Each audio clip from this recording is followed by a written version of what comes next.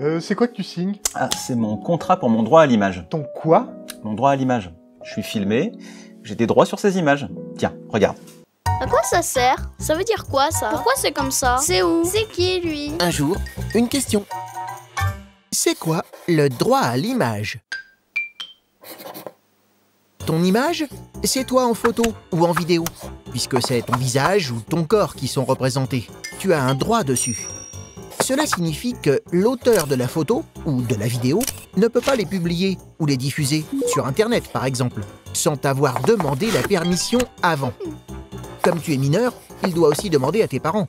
Ceux-ci peuvent s'opposer à toute utilisation de ton image. Mais est-ce que ce droit à l'image s'applique dans tous les cas? Hmm, Pas tout à fait. Et heureusement, sinon les journalistes ne pourraient plus faire leur travail. Certaines images ne nécessitent pas d'autorisation des personnes concernées, tant qu'elles ne portent pas atteinte à leur dignité. Ainsi, on peut prendre en photo ou filmer des gens au nom du droit à l'information pour rapporter des événements d'actualité.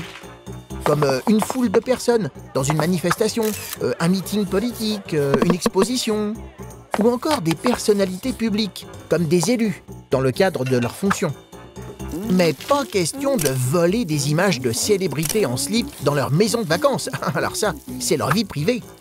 Et même dans un lieu public, l'accord des personnes apparaissant de manière isolée et reconnaissable est nécessaire pour la diffusion de l'image. Sans cela, le diffuseur s'expose à de grosses amendes. Bref, le droit à l'image protège tout le monde, célèbre ou pas. Tu te poses des questions? Nous, on y répond.